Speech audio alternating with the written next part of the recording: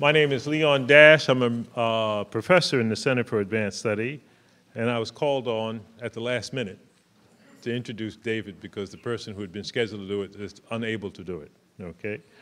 Um, but it's my pleasure to, interview, in, uh, to introduce David Roediger. Hello, everyone, and welcome to the Center for Advanced Study special presentation by David Roediger, Hope in History, Past and Present Burdens of Race. I would like to acknowledge and thank the co-sponsors for this talk, the Department of African American Studies, uh, the Department of History, and the Spurlock Museum. Uh, Dave is the Kendrick C. Babcock Professor of History at the University of Illinois. His research interests include race and class in the United States and the history of U.S. radicalism. Prior to his arrival at our university in 2000, he was professor of history and chair of the American Studies program at the University of Minnesota. He received his doctorate from Northwestern University and is the author of numerous books, including, including Colored White, Transcending the Racial Past, published in 2002, Walking, I'm sorry, Working Toward Whiteness, How America's Immigrants Became White, published in 2006, and most recently, How Race Survived U.S. History, From Settlement and Slavery to the Obama Phenomenon, published this past August.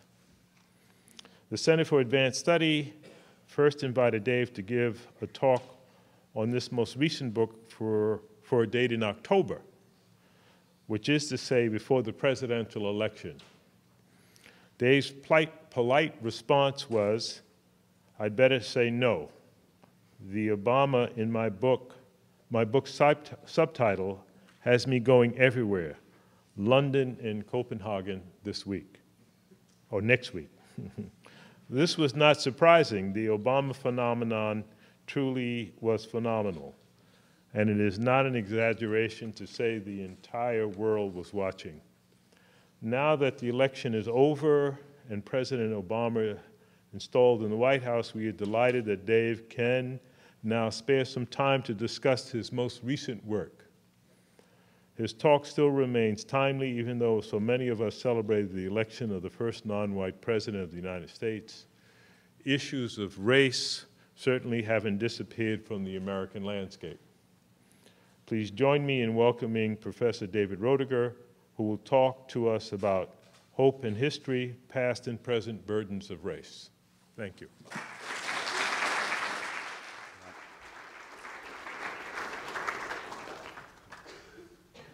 Thank you all for coming. Um, I have a cold, and it, uh, but everything's going to be fine. Just it, Basil Tide just made the hottest soup imaginable, and I think I'm okay. Um, I want to thank Masumi uh, Liesel, uh, Jack Davis uh, for the uh, getting really interested in the graphic and doing a really nice uh, poster. I think I want to thank Brian uh, and the other people who are working in the booth, and I want to thank Leon for the introduction. It's great to see uh, lots of old friends, uh, including Jim Oakes, who you should all go out and hear tomorrow, uh, speaking as one of our uh, Lincoln uh, lecturers. Uh, it's going to make me feel worse about my Lincoln material in this lecture, but still, I'm delighted to see Jim here. Leon mentioned that I turned down this talk in October, and it was partly because I was busy, but it was also partly because I was a little um, well, you'll see as I speak that Obama kind of took over my book in a, in a way. I was writing a book that was about something else and that turned out to be sharper because of being able to consider Obama at the end of the day. But 3% of the book is about Obama, and 97% of the book is about kind of the, what one of my kids calls the Wayback Machine of uh, things I usually talk about, kind of history uh, purely. And so uh, I was a little bit worried about trying to cope with that disjuncture of writing a historical book and getting asked almost all contemporary uh, questions. Not that I didn't want to answer them, but that I wasn't particularly uh, qualified to answer them. And there was a little bit more of a problem. And the, the further problem was that um, is that um, I think in a way we're all thinking a lot these days about hope in history. and how much we get to hope and how much the burden of the past still, as a great man once said, weighs like a nightmare on the, on the present. Um, and, and, but I was thinking about it in a very different way for very peculiar reasons as I finished this, this, uh, this book. And in speaking then about Obama, I was feeling the need and feel the need to kind of say, we need to temper hope. Or at least that's how I was thinking about it until I really started working hard on, on this talk. And now I think maybe better things can be said that we don't know so much need to temper hope or scale back hope as we need to focus and ground hope and figure out what it is we really want to place our, our hopes in. But I do kind of have that worry that it's um, an insufficiently hopeful uh, talk. Uh, and, you know, I, it's complicated in my particular case because I'm not a person who thinks that at the end of the day that the Democratic Party will have solutions to any of the problems that really press on us uh, as, a, as a people. So, uh, you know, I, there is a kind of a, a scaling back that's a part of this. But I also want to say, and maybe I have to say, that I celebrated. Uh, I uh, think that the changes registered in Obama's victory and in the end of the Reagan and Bush's era are certainly something that we need to, to place hope in, but we also need to figure out where we're going to go from there. I'm tempted then, in defensively talking about hope and history together, to recall the sometimes wonderful Italian Marxist philosopher Antonio Gramsci's call for what he called optimism of the will or spirit and pessimism of the intellect, or as uh, my mom kind of puts it, hope for the best but prepare for the, for the worst. Uh, and I think that that's a, uh, one useful framing, but it still has us putting history against hope or the burdens of the past against hope. And so, one of the things that I'm trying to inch toward in some of the comments in uh, this presentation is to not make those make history and hope opposites of each other, but make them kind of parts of the same uh, conversation. A little more then about the talk uh, generally. First of all, by my standards, it's a relatively long talk. Not by Naomi Klein standards, if any of you were at my friend Naomi's talk. But, uh, you know, I'm probably going to talk about 20 minutes about the book and current events, and then I'm going to talk for about 30 minutes about history. So it's a, a relatively uh, long talk. So after the discussion of the book and the, and the present, I'll dip back into three sections uh, on history, uh, mostly drawing on uh, how race survived uh, U.S. history. One section on the origins of race and how those origins do predict its eventual end.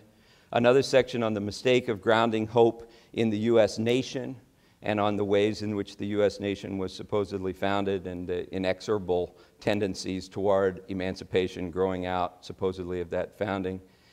And, sorry, uh, a third section on Abraham Lincoln's back and forth motions on slavery to underline CLR James's point that's on the flyer for this talk uh, when James said that leaders make history, but only such history as it is possible for them to make.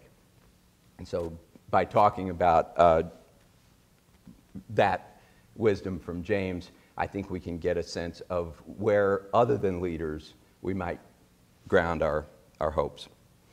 So, a little bit then about the book, uh, at least briefly, very briefly.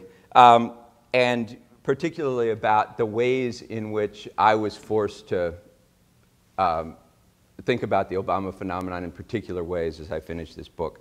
I decided about three years ago, and, I, and parts of the beginning of this project were under a CAS grant, so I'm delighted to, to say that, um, to write a book that was um, hopelessly, ridiculously ambitious. It was, gonna, uh, it was supposed to, the contract called for a book on, all, on race in all of U.S. history from start to now uh, with um, not just black-white racial axes uh, considered, but a multiracial nation, and it was supposed to be 100 pages or less. this was a crazy Oxford idea that the bigger the topic and the uh, littler the pages, that you could then get them up by the cash register in bookstores and people would buy them on their way out like gum or, or, or something. Um, and the way I bought into the uh, idea was the editor said, there are hundreds of thousands of people in the United States who are willing to spend two hours trying to figure out race, but not five. and uh, as I actually tried to write the book, and as that editor moved on from Oxford, it turned out that I couldn't do it in 100 pages. It's about a 200, a little more than 200 page book. And so it's, I'm hoping that there are people who are willing to spend three hours and 15 minutes trying to figure out race, uh, but, not, but not five. Um,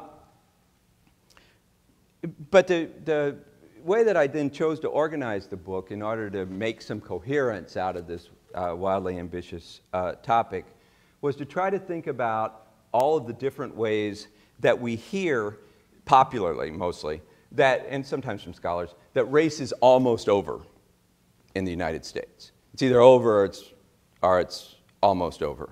And in fact that the only problem is that people still keep talking about racism and that, that's what creates the, the, uh, the bitterness around race not oppression.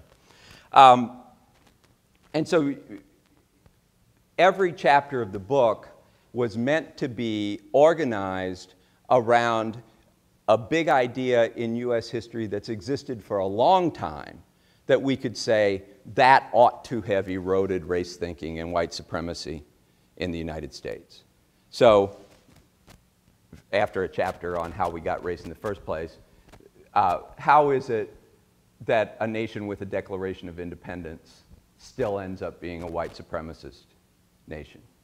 How is it that a nation that has an Emancipation Proclamation still ends up being a white supremacist nation? And, and all this phenomenal change in the 1860s and 1870s. How is it that a nation that, another chapter, that has more or less open mass immigration from Europe of people, peoples, nationalities who are considered to be of different races and might have created divisions inside the so-called white race or inside uh, the European population. How is it that at the end of that long process, those peoples kind of get to join white America rather than challenge white America and don't erode uh, the concept of, of, race thinking? And then uh, an unexpected chapter on how race survived capitalism, because I found so many right-wing uh, thinkers arguing that capitalism is a raceless system that all capitalists care about is labor inputs and efficiency and productivity, and therefore uh, we should expect them, the market, will do the work of anti racism for us. So there's a, a, chapter on that, and then a final chapter.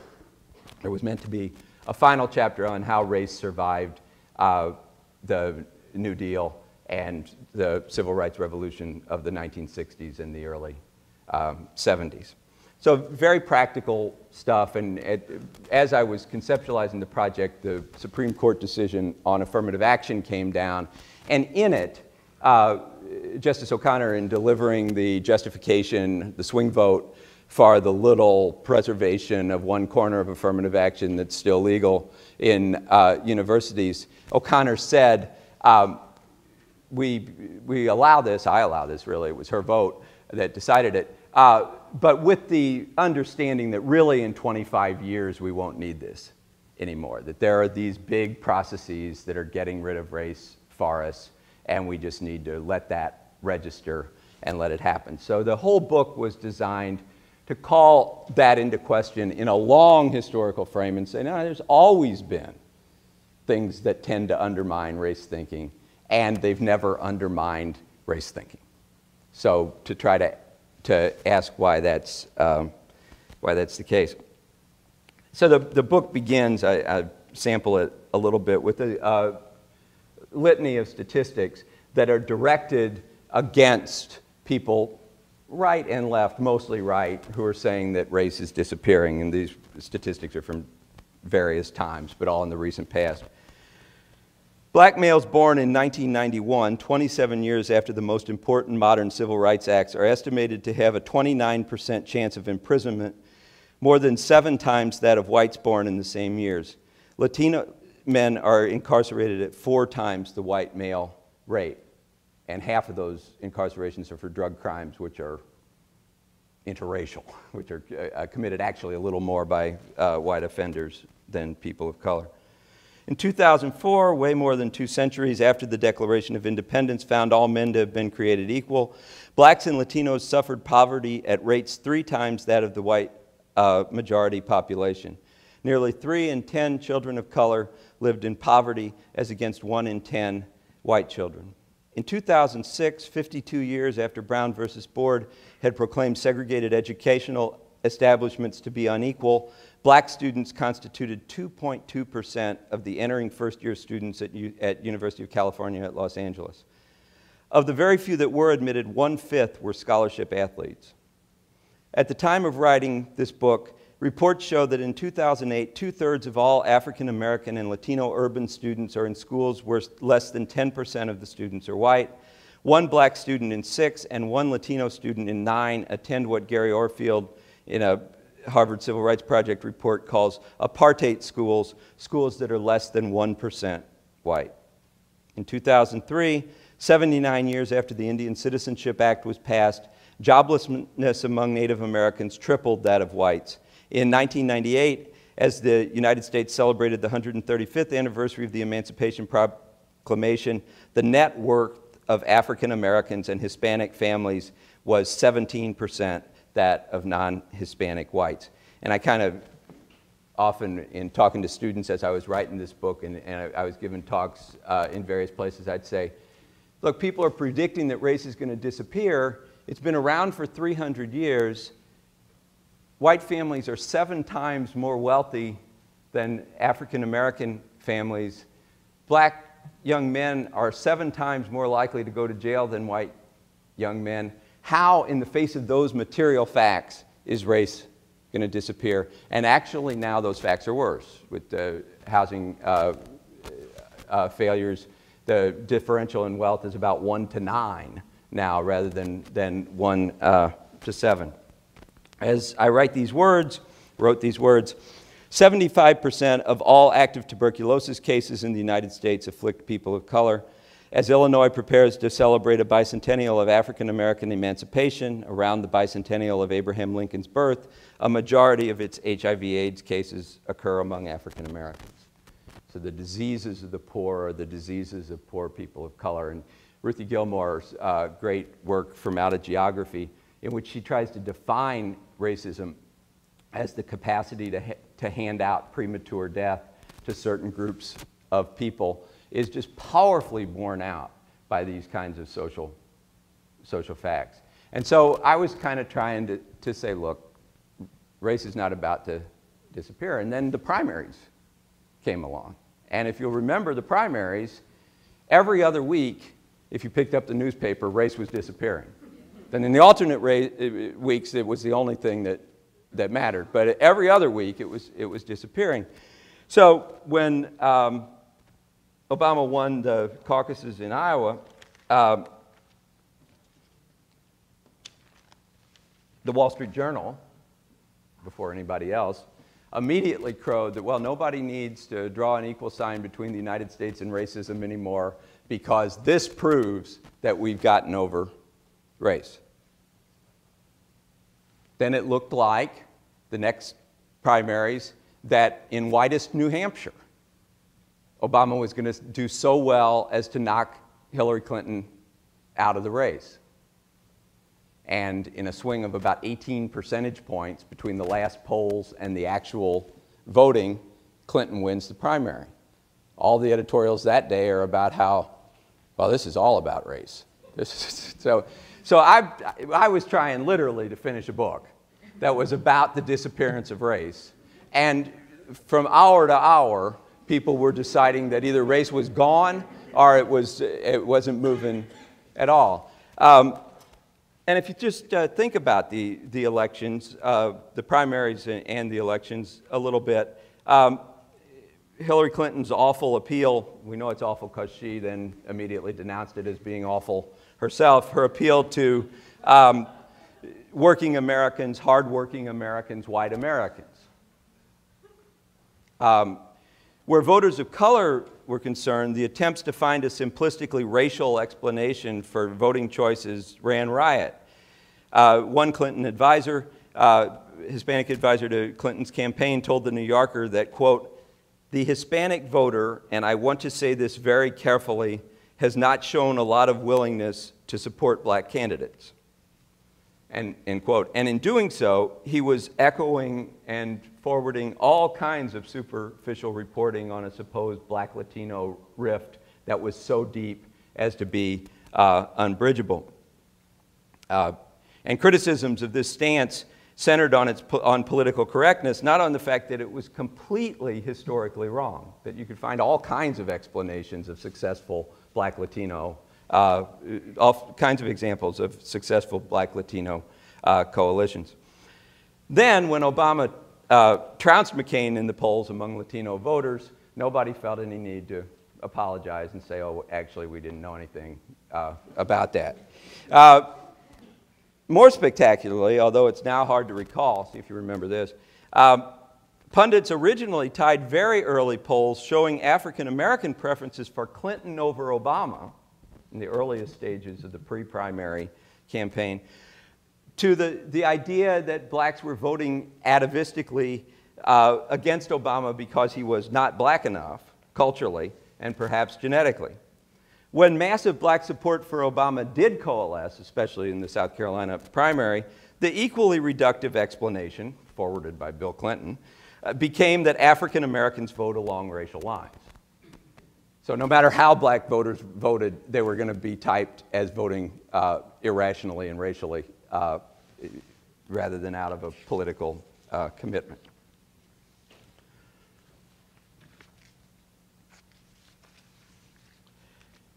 So I had to finish the book in March, and literally I had to figure out who was going to win.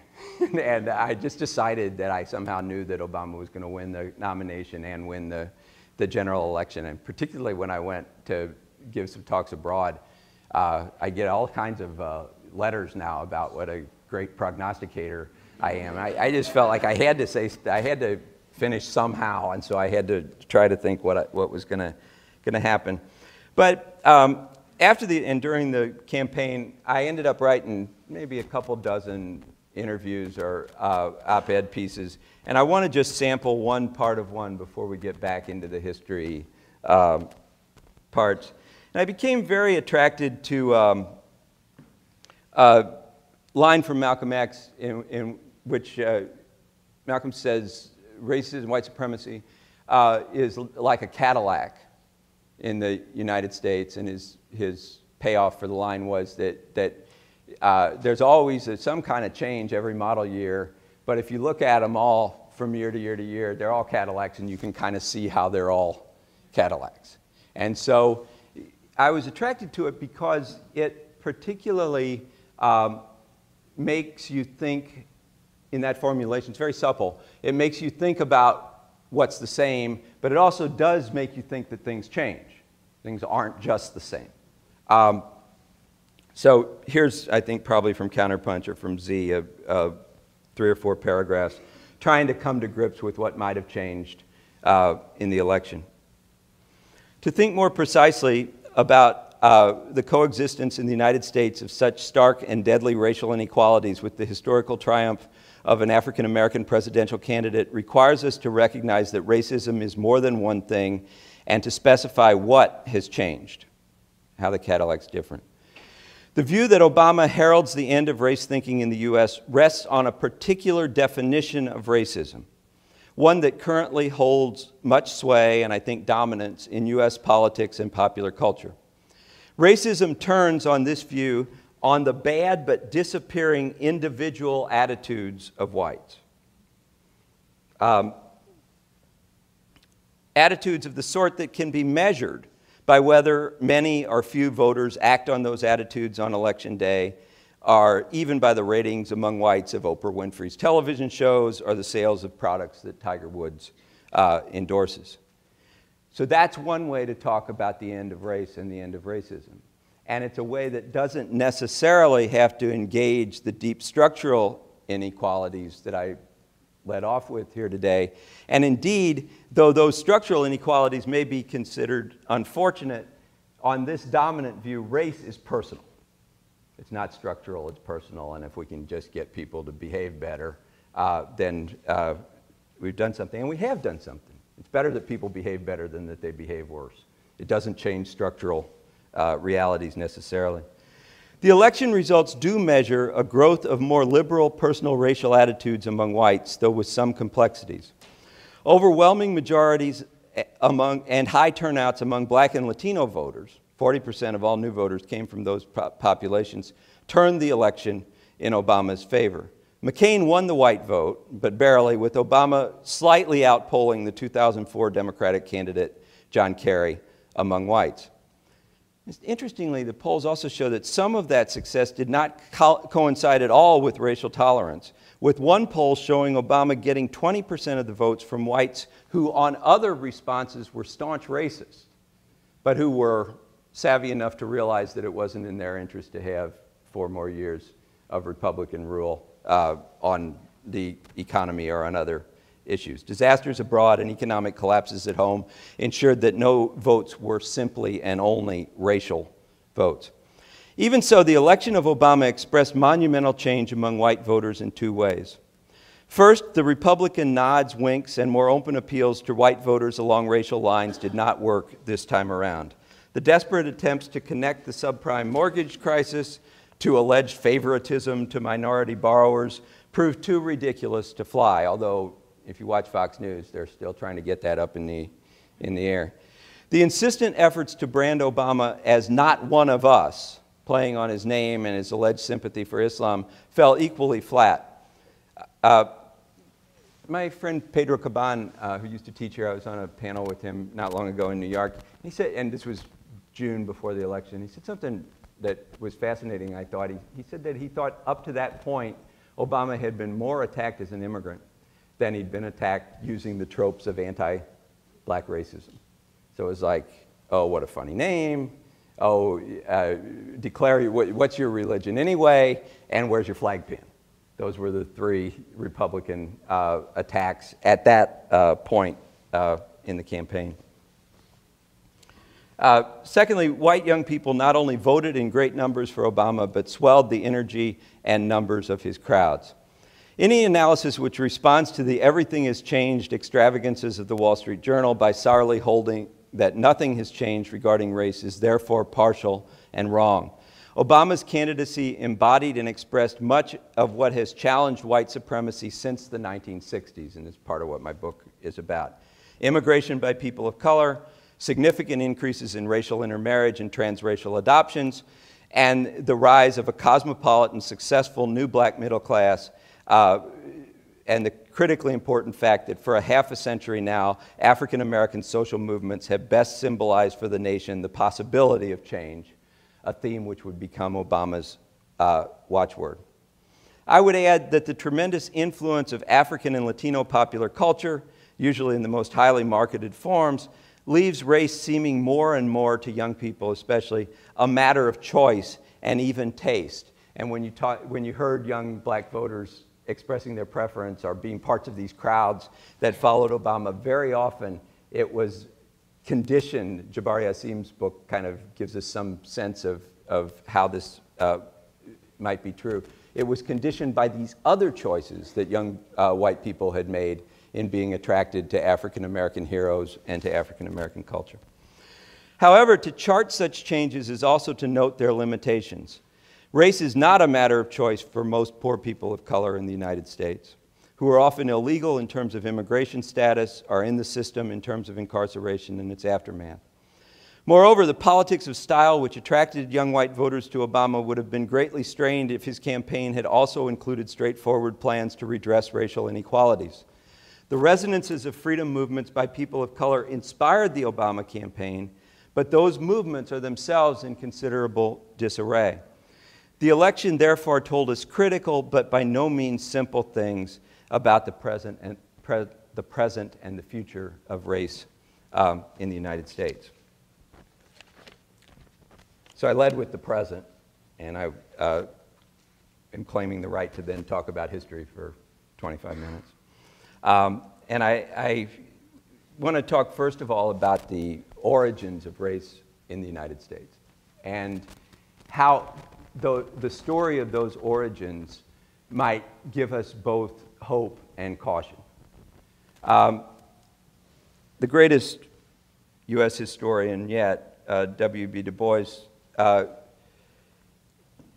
captured in an essay during World War I how uneasily modern racism sits in the longer run of world history. And Du Bois, and by the way, a lot of what I'm going to be quoting from Baldwin and from Du Bois and from C.L.R. James and, and others is in popular writing.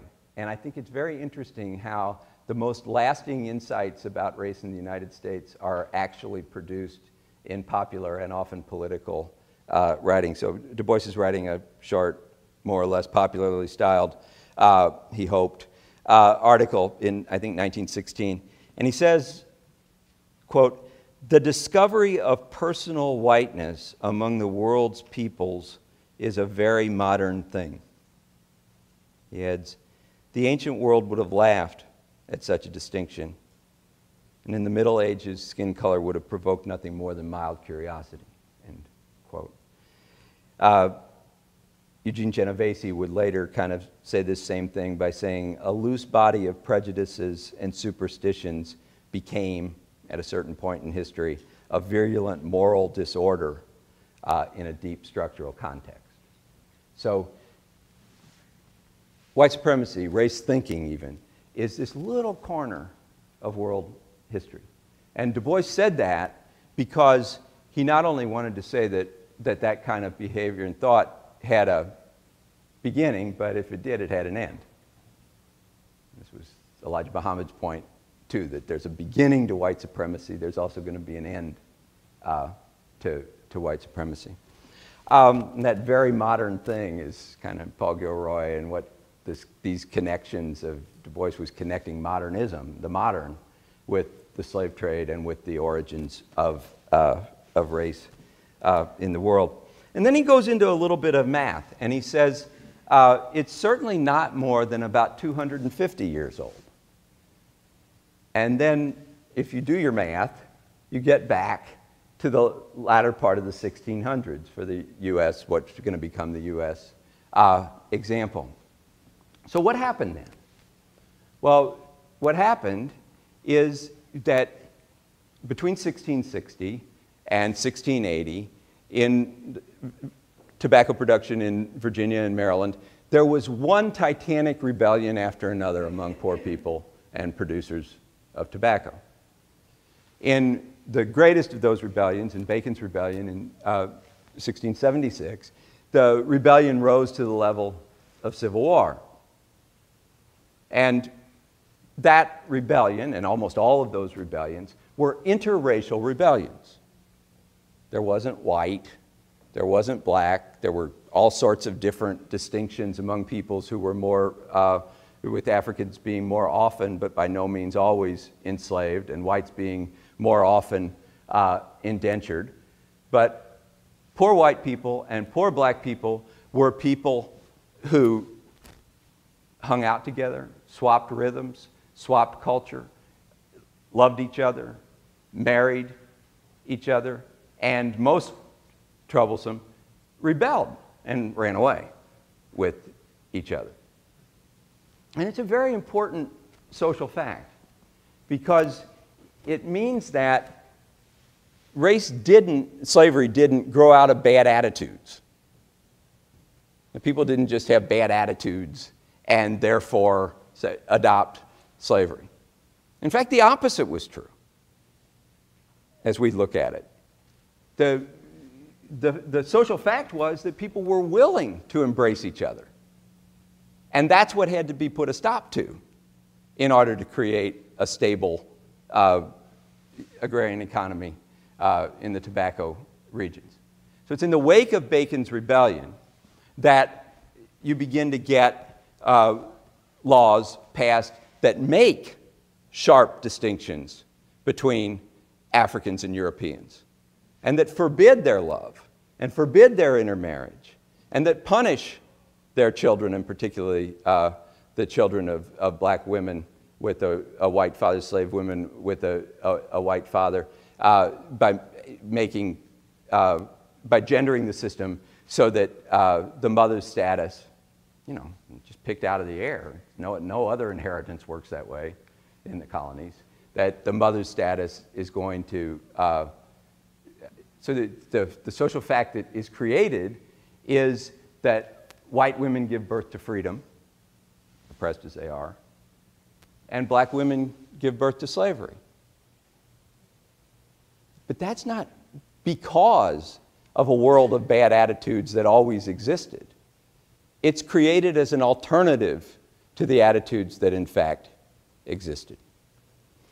And if you, if you think um, even the other wholesale change in the wake of Bacon's rebellion is to use an overwhelmingly enslaved African labor force. There were beginning to be slaves before Bacon's rebellion, but not as a significant factor in production. All of a sudden, in the next 30 years, you get this huge increase in African slavery. C.L.R. James points out that that also is, of course, creating racism. It's a, it's a decisive moment in the creation of, of racism and, and white supremacy and the associations of whiteness and, and property uh, in U.S. history but it doesn't grow out of bad racial attitudes. To invest all of your capital in an African labor force is, James points out, to express confidence in the excellence of that labor force,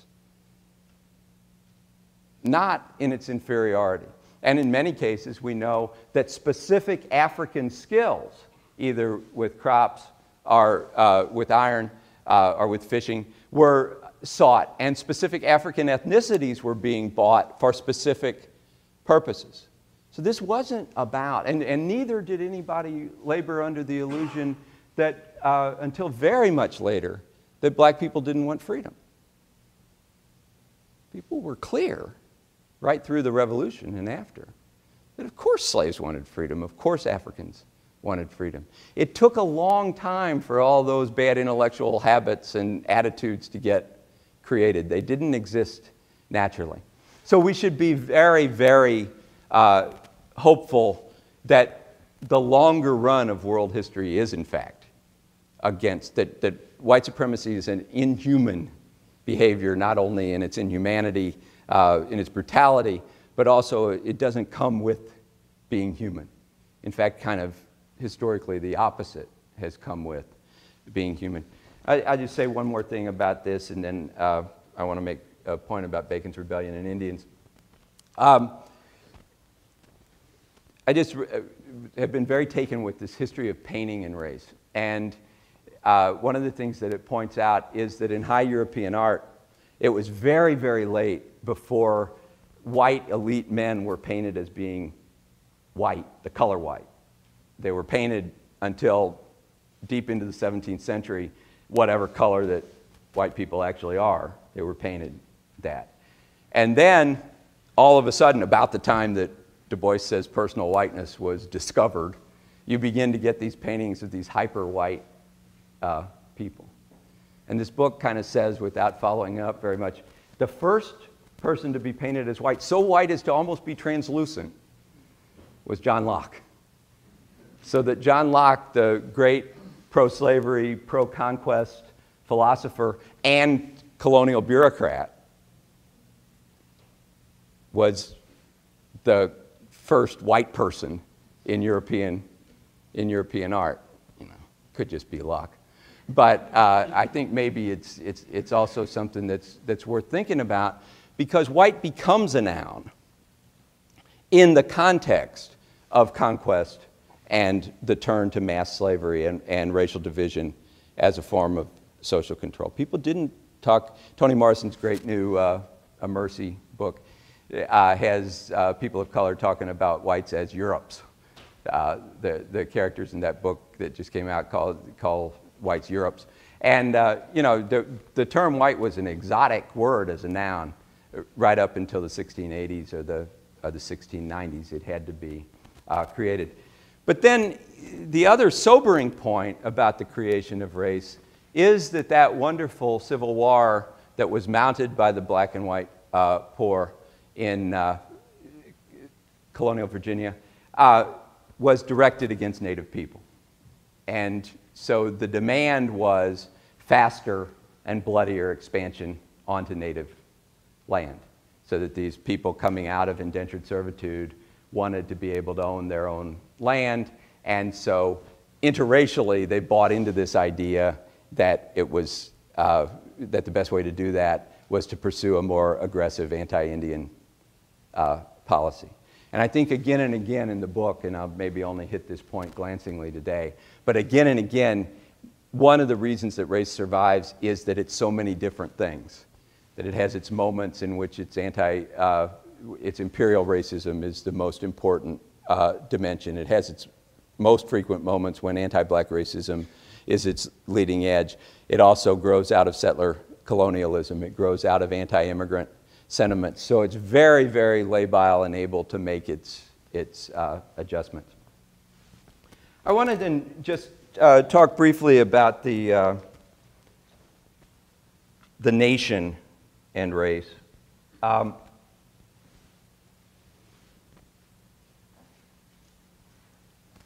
when Obama uh, gave the most important, the first most, the first important race speech of his campaign, he got as close to the Declaration of Independence as he could be in order to do it. It was a Philadelphia speech. And he said something that was very brave and then kind of took some of it back. And he said, uh, he pointed out that the founding fathers were slaveholders. And then he said, but the document that they produced also held in it the seeds of everything that would get rid of this system. So he kind of put out there this American exceptionalist view that from the Declaration forward, we get this commitment to freedom that was a dilemma, that was imperfect, that was gradual, but it was going to unfold toward freedom. And I think that, you know, as a, as a way to make political arguments, that's fine. It's not true as an analysis of the Declaration of Independence or of Jefferson. Uh, and so we need to figure out if change doesn't come through great documents, where does it come from? Uh, the Declaration of Independence uh, has a very famous stricken passage that Jefferson writes about slavery and then withdraws. And uh, in the course of the campaign, in all of this races over rhetoric, very often you'd hear people say Jefferson wanted to abolish slavery in the Declaration, but he was forced not to. It's easily available online, you should look at it. Jefferson did no such thing, even in the draft that he withdrew. What he said was slavery is a regrettable consequence of British misbehavior, that the crown dumped these slaves on us and now we're uh, stuck with them. And he denounced uh, the slave trade in the most crusading moral uh, language. But then he said, and now the crown is trying to encourage slave rebellions. And what did he call those re- rebellions? He called them crime and he called them murder. So, this document that's all about the natural rights of humans to rebel and seize their freedom then turns to slaves and says, Yeah, when they do that, that's murder. That's, that's criminality. It's not a document that toys with the idea that these natural rights apply across the board. Uh, it, and, I mean, Jefferson had to withdraw even that in deference to unity with white, uh, with northern slave traders and with far southern uh, plantation owners. And also ignored is that the Declaration says um, he, the crown, has excited uh, domestic insurrections among us and has endeavored, the domestic insurrection is struck eventually, he has endeavored to bring on the inhabitants of our frontiers the merciless Indian savages whose known rule of warfare is an undistinguished destruction of all ages, sexes, and conditions of existence. And that set the ground rules for the massacres of Indians during the actual uh, Revolutionary War.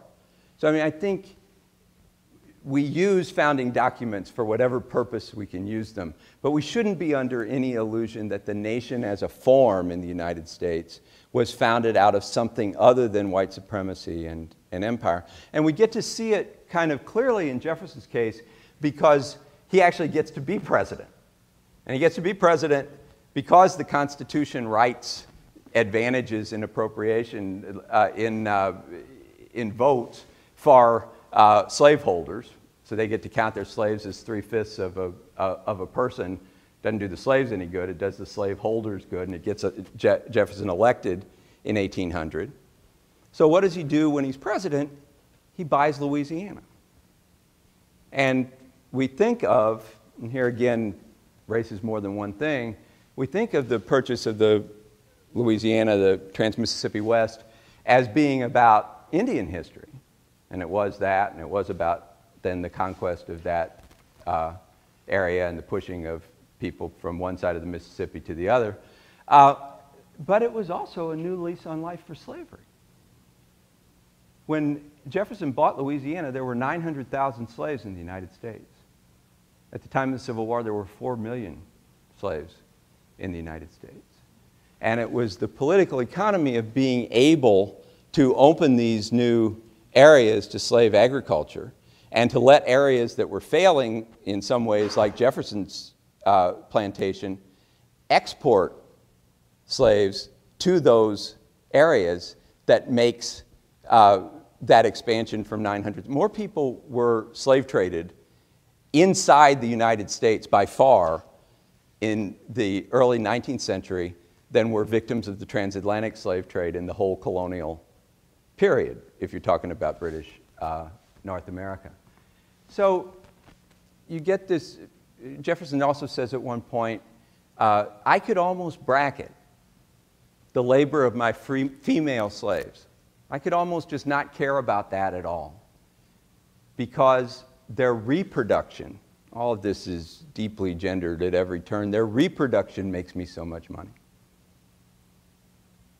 He didn't bracket their labor. He did actually try to figure out how to use their labor most efficiently. But he says, I could do that. So, you know, I mean, more is involved here structurally and deeply than just Jefferson's attitudes and the fact that he had these good attitudes but couldn't quite either be a profile in courage and fight for them, or he couldn't get enough political agreement to go along with these good attitudes. When he talked about those slave women as producing his wealth through children, he was talking partly about his own enslaved children as part of his, his wealth. So that those children became a basis for his political power in the way that things were apportioned, and then also became uh,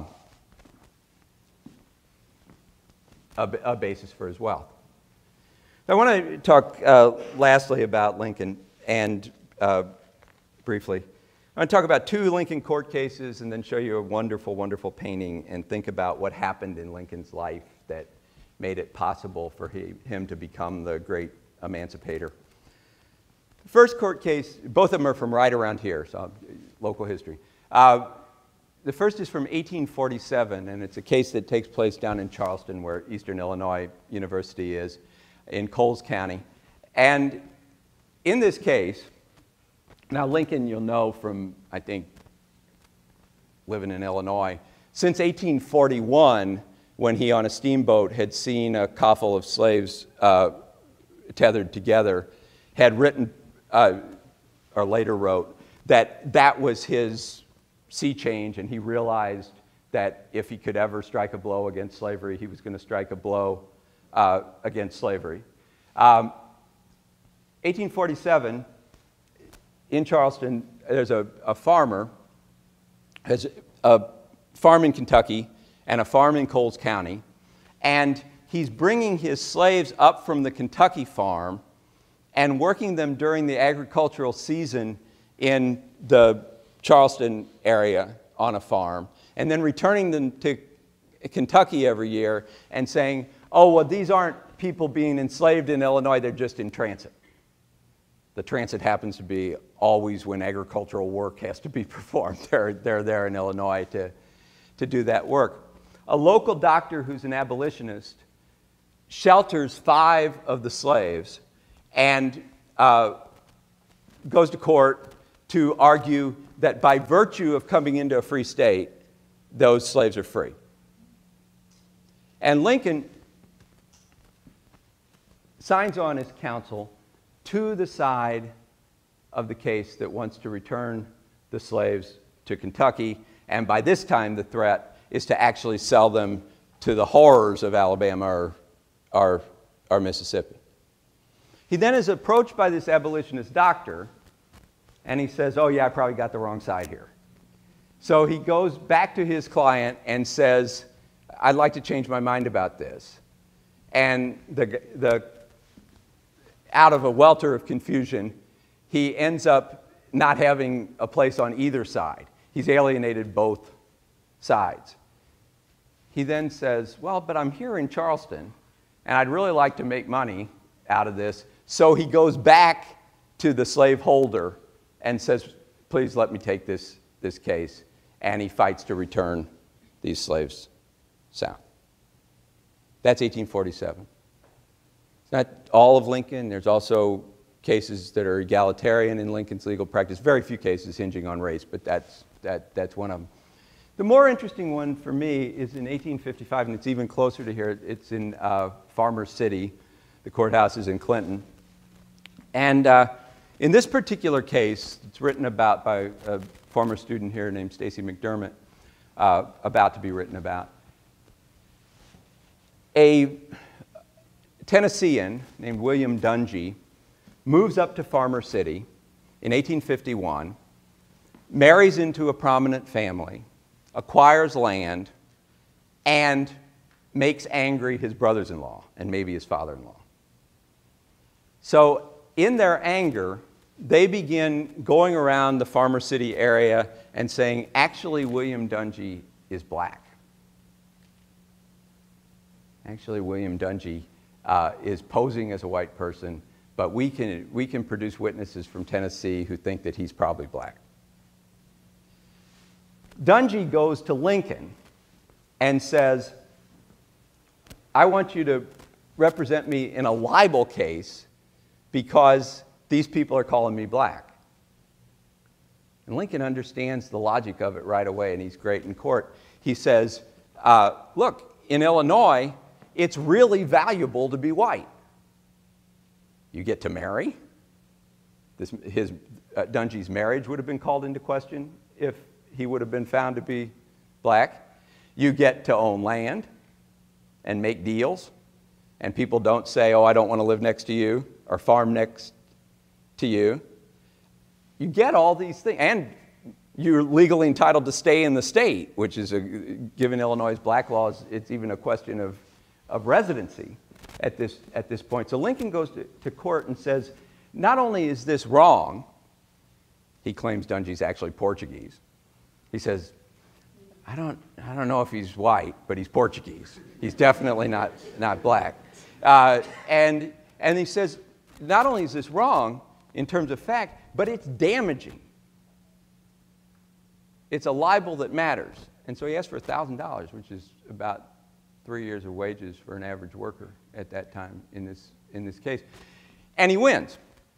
He immediately tells his client to give most of the money back to the people who the judgment was against in order to keep an appeal from happening because Lincoln thinks he's going to uh, lose the case on appeal. And then Dungy moves down to farther southern Illinois, to Benton, and uh, names his next kid Abraham Lincoln.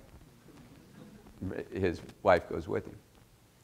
Now, that to me is a really interesting case because so much of the Lincoln debates try to figure out oh, was Lincoln on the side of the angels or wasn't he on the side of the angels? Was he, in terms of his attitudes, was he racist or was he not racist? In this case, there's no side of the angels. There's not that. I mean, I guess we would say, oh, I hope I was on Lincoln's I would have taken Lincoln's position. I would have argued against the race baiting brother in laws. But in order to make that argument, you had to say white people get certain rights, white people are entitled to certain things, and therefore um, that's how the, the world ought to work.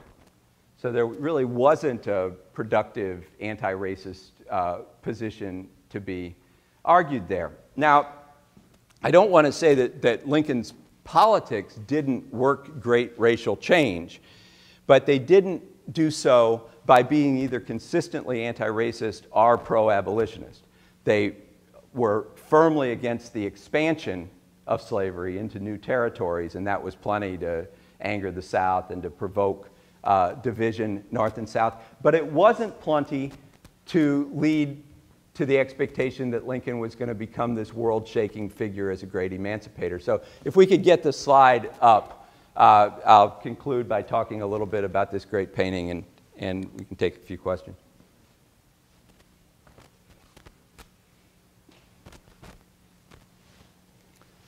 So, even the war doesn't automatically propel Lincoln towards an emancipatory position. And if, if you're walking around on campus and, and you're uh, in Lincoln Hall or around Lincoln Hall, Lincoln quotes ring Lincoln Hall. And if you look on the edge of Lincoln Hall that's closest to the Union, there's a quote that says, his famous quote about this, this war is not about slavery and freedom, it's about union. And if I can save the Union by freeing all the slaves, I'll do that. If I can save the Union by freeing no, none of the slaves, I'll do that. That's where his politics lead at the beginning of the war. But then, partway through the war, of course, as we all know, he becomes an emancipatory figure. Now, how did he get there? This is a painting that the great uh, artist Winslow Homer did during the end of the war, and it came out and it was debuted in 1866. And it's actually a little painting. It's about two feet by 18 inches or so. It's in the Newark uh, Museum of Art. But already, looking back on the war from the vantage point of 1865, Homer is seeing where we might ground our hopes in looking at the history of the Civil War. So he, he does something very amazing, and I think it's only, it's only gotten more amazing as narratives of the Civil War have progressed. He takes this slave woman, the wonderful African head wrapping, and makes her the center of everything, makes her brain the center of everything in the drama of the Civil War. And the, the painting is variously titled. I think uh, that, ooh, maybe I can actually use this thing. Um, uh-huh. Uh, I think that uh, Homer preferred captured liberators, and the reason that it carried that title is that up here, and in the little tiny original painting, it's even smaller and, and smudgier looking than this, is the drama of Yankee troops being captured by Confederate troops. So, you know, every movie about the Civil War, just about, every made for TV movie about the Civil War, that's, what the, that's the plot. And somehow they're brothers and they all have different, they, they married each other's sisters. And, and they, uh, so that's, that's the story of the Civil War, the made for TV Civil War. And even at the time, it was the story of the Civil War. White sections fighting other white sections. But Homer says, no, the story of the Civil War is here. It's what happens at the cabin door. The near Andersonville title is that these uh, Yankee soldiers are being taken to this notorious Confederate uh, prison at Andersonville. But for Homer already, what's really decisive is what she's going to do. And what slaves do, W.E.B. Du Bois calls it the general strike of the slaves, by the hundreds and then by the thousands and then by the tens of thousands, ultimately more, is to find their way to the Union troops and to freedom. If you look on the Lincoln Heritage website, there's a line in it that says at the beginning of the Civil War, no one thought that the war was about slavery and that slavery might end during the Civil War. No people thought that. Well, slaves thought that. And so they started to find their way to uh, Yankee generals who then said, at a time when Yankee war fortunes were poor, this might be a way to win this war. And they adopted Ben Butler, the first general to really think about this, adopted the term contraband to describe these slaves. And I've always thought, what a hideous thing. You know, he's, he's calling these slaves the property that's seized in war and then turned over to the, uh, victoria, to the people who are victorious in battle and they seize this property. It's contraband. The freedmen's camp in Cairo in southern Illinois was called the Cairo Contraband Camp.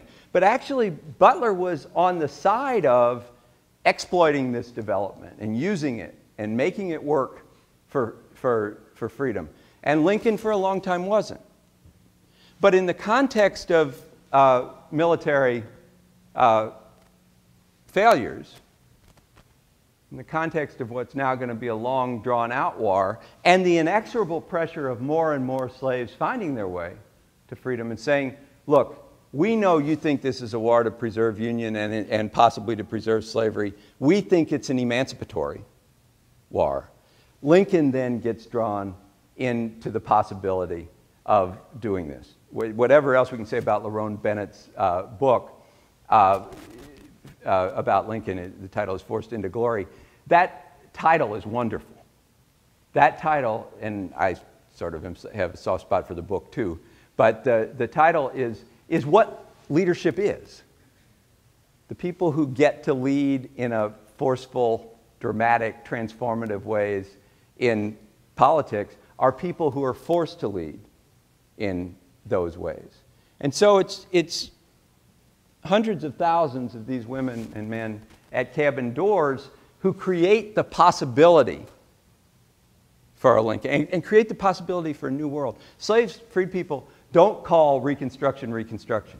Almost universally, they call Reconstruction Jubilee because they think the world is going to just keep changing. And if they look back to Leviticus in the Bible, how'd they know to do that? They look back to Leviticus in the, in the Bible and they say, not only is emancipation on the cards, but the Bible says that the land is going to go back and be redistributed and not going to be uh, owned in the way that it's, that it's uh, now owned. So they, they expected much more. They expected 40 acres and a mule. And they create these preconditions for a new world.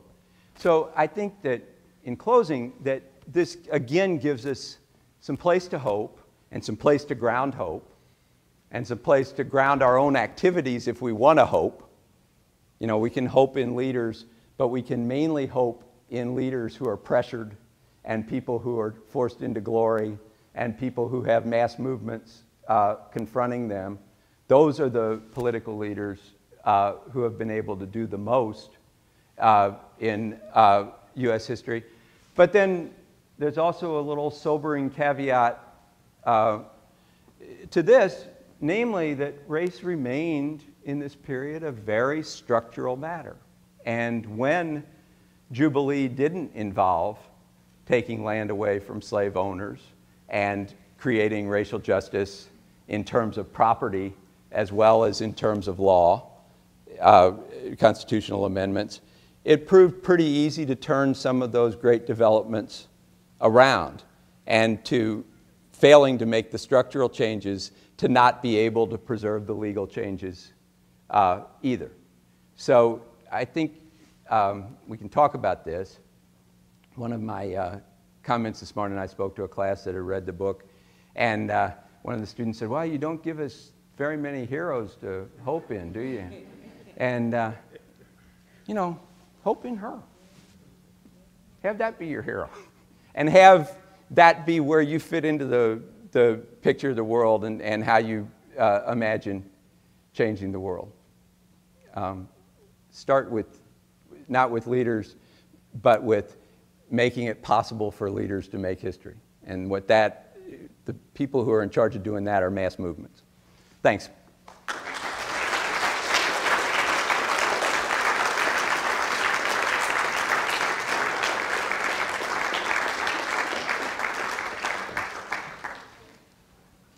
So uh, I'll, I'm uh, fading fairly fast, but I'll take uh, three or four questions. And I'm told there's a microphone. Is that right?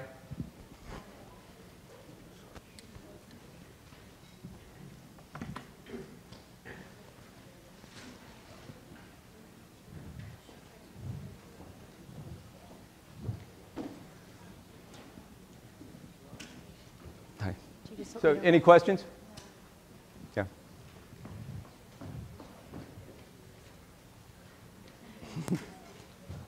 This may a very broad question.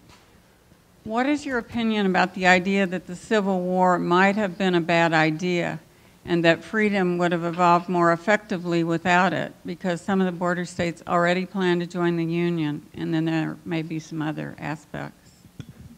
Um, so the question is, is uh, was the Civil War misconceived or premature?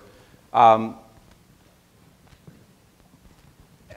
I, don't really know how to address the what if of it. I mean, I think that, um, first of all, the South at that point had powerfully decided in favor of secession in many, uh, in many cases.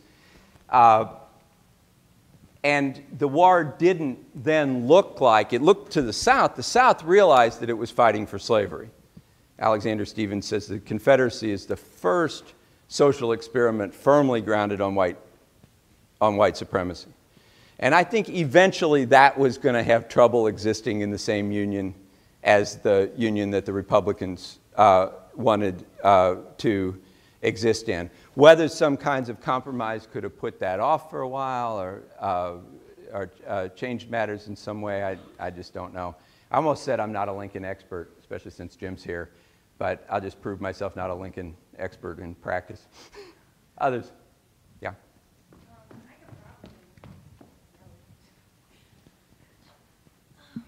Okay, um, you spoke, you said that, um, you know, since there was a beginning to white supremacy, there has to be an end.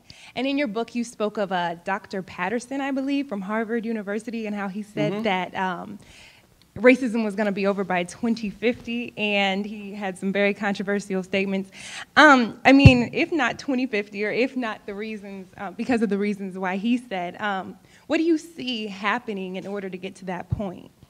Well, I think that it's unlikely that race will disappear without wide structural disparities in resources. As long as uh, being white pays in this society and uh, there's a, a way to look at people of color and say, there's more social misery in those communities. It must be something wrong with those communities.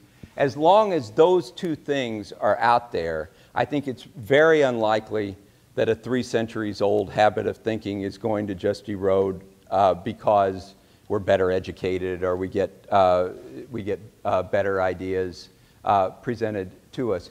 So, I mean, in one way or another, I think addressing the problem of inequality and oppression is necessary to think our, about what a raceless world, uh, what a raceless uh, nation uh, might look like.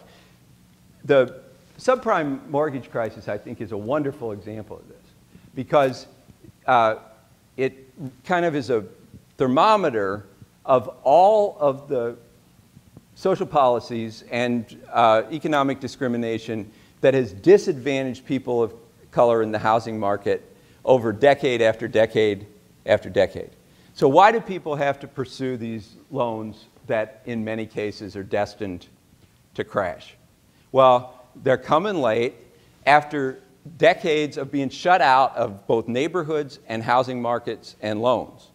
And not because of conservatives, but because of liberals. The New Deal creates redlining in the United States, and, and the Fair Deal expands the uh, racial directing of loan uh, to suburbs and away from, from cities.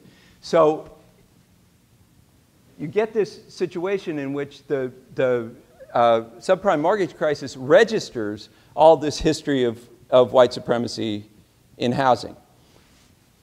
Not too unpredictably, the subprime loans are, whole, are held four times out of proportion uh, by uh, black and Latino borrowers as opposed to white borrowers. When these foreclosures happen, it'll be the largest transfer of wealth away from black people in the history of the, of the United States. And yet, we really haven't been able to talk about that in public. Even though some people are saying, well, that brought the whole economy down. So it would seem like it's a, it's a very, very urgent matter to talk about and to be honest about, and to be honest about the history that, that goes into it. And in the context of the election, I think it was clear that Obama couldn't talk about it in that way. It would have hurt. I mean, any advisor would have told him that's not a great issue to, to raise. But at some point, we have to talk about it in that way. Because as I suggested earlier, the right is talking about it in that way and is trying to, to make the subprime crisis into a, a, matter of irresponsible borrowing by people of color.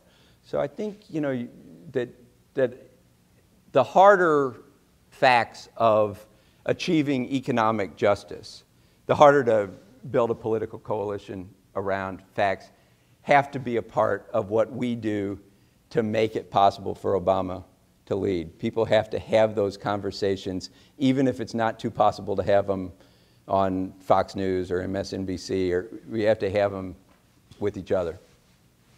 Other questions? Please. There's one here. Thank you very much for the presentation. Uh, you focused on the U.S., and thank you for that. I wanted to know if you could just speak just about the international race issue. What words of wisdom, thoughts, analysis, or um, yeah, thoughts that you might have, given that you're speaking about the U- U- U.S. and many people have been looking at the U.S. as this place of power, and yet we have these different so-called races all over the world. I would just love to hear your thoughts. Yeah.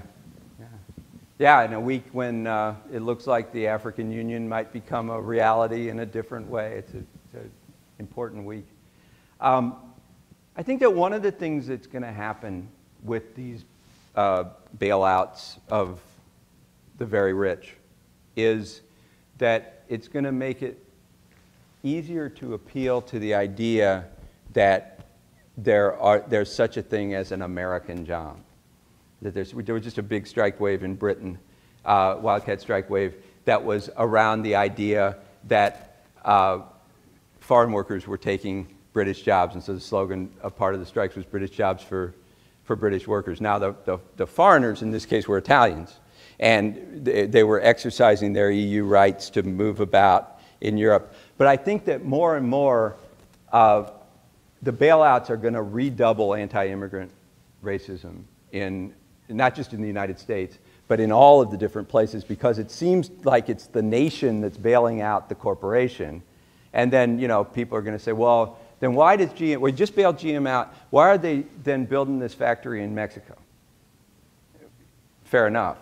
But then they're also going to say, why do immigrant workers have the right to jobs at a Toledo Jeep plant after Toledo has signed away its future in order to keep that Jeep plant. So I, I, think that, again, these things that are likely to drive race in the next 20 years are very deep structural matters that, you know, we, we can't really talk about them in terms of good and bad racial attitudes just. When people are saying British jobs for British workers, they're not saying I'm an intolerant person or they're, you know, they're making an economic uh, argument. And so I think more and more in the whole world we have to try to, to, to figure out how to not get working people to be moving a race toward the bottom of standards and, and uh, life faster and faster along. Because more and more, and I, I, I want to just give a, a, U.S. example, but that goes to the, to the world of a way that, that doing this book made me think that we haven't transcended this world. Uh, Ken's here, Faranak I think is not here, but uh, there's a meatpacking town called Beardstown that's close to here in, along the Illinois River, I guess. Um, and it used to have big union meat packing with local workers who were white mostly, uh, having the union uh, jobs. The unions got smashed. The plants came back in a smaller variety as non union plants. And the workers there are divided and consciously divided. You see this in Iowa in one place after another, too, along national, religious, who's legal and who's not uh, legal lines. So you have in Beardstown, which is this sleepy, tiny town of 2,000 people, you have appreciable numbers of Congolese workers who are legal, who are being pitted against Mexican and Central American workers who are seen as, and sometimes probably are, without documentation. You have people being recruited by labor contractors who are born again Christians who are saying, you have to prove to the boss that Guatemalan born again Christians are better than Congolese workers. And if you get on the wrong side of that, those Congolese workers, uh, in some cases, get on the wrong side of their, they won the lottery, the immigration lottery, they're legal immigrants to the United States, so called. They're in this tiny cold place, moved from the Congo. They get on the wrong side of the bus, and then they get shipped to salmon processing ships off of Alaska. So anybody who thinks that race is just going to be worked out at some street corner in the United States, even in sleepy Beardstown, it's all of this transnational process that, and you know, those Congolese workers bring ideas about race with them. Mexican workers bring ideas about race or bring ideas about black popular culture with them. So it really is, even in the United States, the kind of racialized world impinges on everything that, that, that we do. I think we should stop, unless, oh, okay, Ken, go ahead. Sorry, David, I'm going to just ask you to continue that conversation. Your question about grounding hope. Yeah. Sorry, the question about ground, grounding hope, just in terms of the sites of struggle. So clearly, of course, I the plantation was an important space Mhm. organizing, and then of course the factory. But your reflections on the urban ghetto, the barrio, the barrio, as sites of anti-racist resistance, where people are now coming together in different forms. Do you see that?